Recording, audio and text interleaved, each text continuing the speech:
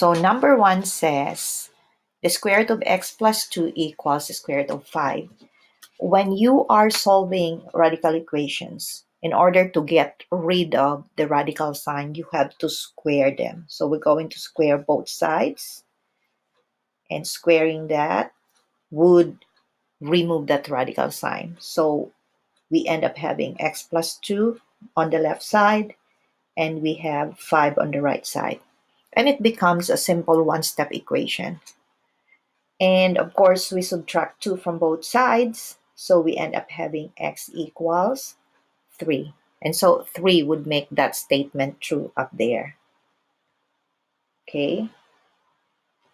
And number 2, we have the square root of x plus 5 equals the square root of x plus the square root of 5. So when is this statement true? Again, let's square both sides.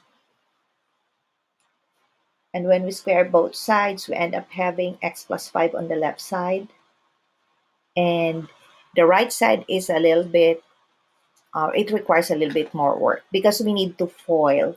So it's like if we have um, the square root of x plus 5 plus the square root of 5 and times the square root of x plus the square root of 5. So by foiling, we multiply this 2. So the square root of x times the square root of x, that's going to be the square root of x squared. So we end up having just x.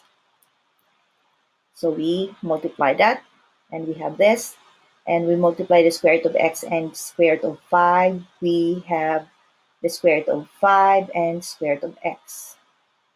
We multiply this 2. We have another square root of 5 and the square root of x. We multiply the 2 just like what we did here. They are the same. They are the same.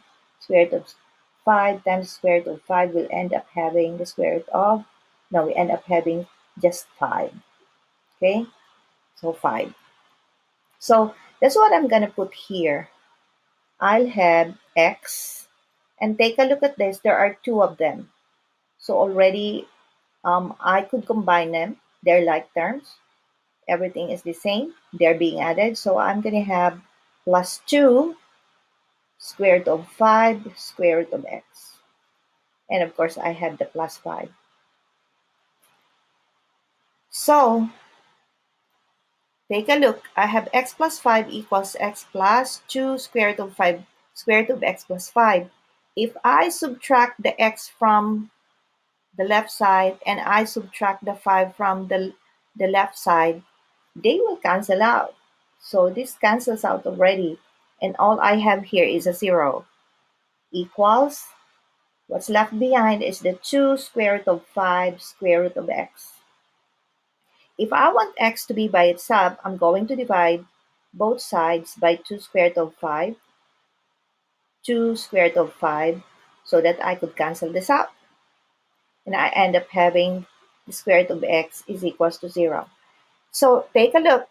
The square root of x is equals to 0 means that if I square, one way is if I square again both sides, I'm going to just end up having x equals to 0. Or think about this. If I put in 0 there, what's the square root of 0? It's 0. So x is equals to 0. So when x is equals to 0, it makes the original statement, the square root of x plus 5 equals the square root of x plus the square root of 5 true. So we're done with number 2. And Again, number three, we are again required to square them. Square both sides. So squaring both sides, we have the square root of x squared plus 4 squared equals x plus 4. What's going to remain here is simply x squared plus 4 squared. I'm just to write 4 squared first equals, and here it requires a little bit foiling. Remember what we did earlier? So this one here would be x plus 4 times x plus 4. So x times x is x squared. x times 4 is plus 4x. You multiply this, that's another 4x. They're both. And 4 times 4 is 16. And um, you have, this is to turn into 8x. That's what I'm to put here x squared plus 8x. And um, we have the 16 plus 16. And now take a look at this. This is actually going to be 16 as well. So I should have already um, squared that. So I'm going to do that right now. So this is going to be 16. 4 squared 16. Look at how this is going to cancel out because if I subtract x squared from both sides, this is going to cancel. 16 and 16 is also going to cancel just because both of them are plus. And if I move one of them to one side, it's going to cancel out because this one's going to turn a minus 16. So I'm going to have here remaining just 8x. And of course, on that side, it's going to be 0. And if I divide both sides by 8, x is going to be 0. Of course, this cancels out. So again, number 3 is going to be true if x is equals to 0. Okay. Now, next problem. So, again, I'm going to square both sides. Square both sides and this will become just x over 4 equals that will become the square root of x and you square that so you're going to have just x and um by the way i forgot i forgot to square oh no it's just going to be wait i forgot something. I forgot to write something. This should be the square root of 4 okay. So if I square that, so the original problem is the square root of x over 4 and it's equal to the square root of x over the square root of 4. And now it's easy to see that since we just removed the radical sign, this will also be x um, x over 4 equals x over 4. Now you would say, then what's the value of x? Now, this is an identity. Okay? An identity means that whatever you put in, whatever you put for the value of x, it's gonna make that statement true over there.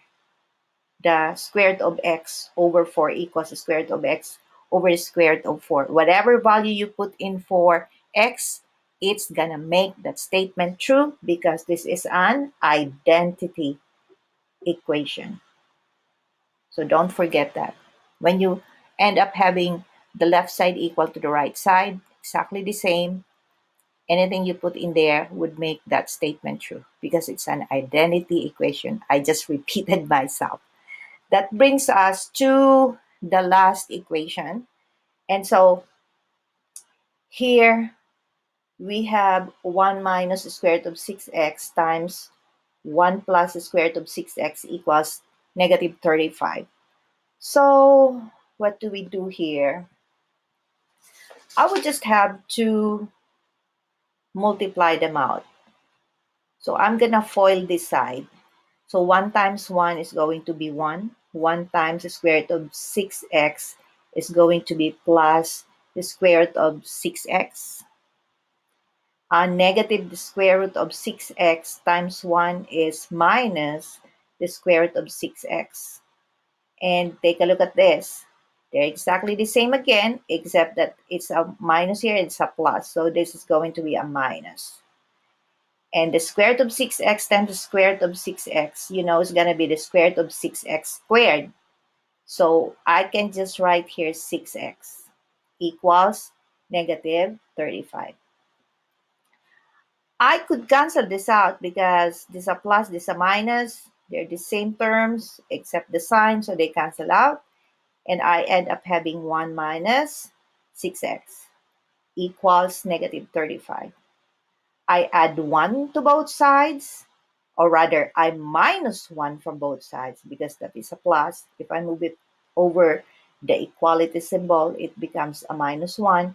So I'm gonna have I'm gonna end up having negative 6x equals negative 36 and I divide both sides by negative 6. If I do that, If I do that, I'll end up having x equals positive 6. And x equals 6 will make my statement true. Okay, at this point, I am going to, so you have a full view of the whole sheet, if that's possible. I wonder, can I? Okay, let me see if I could pull that up. Okay, let's see.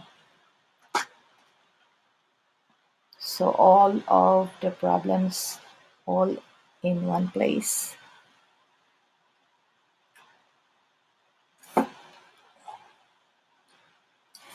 Okay, here is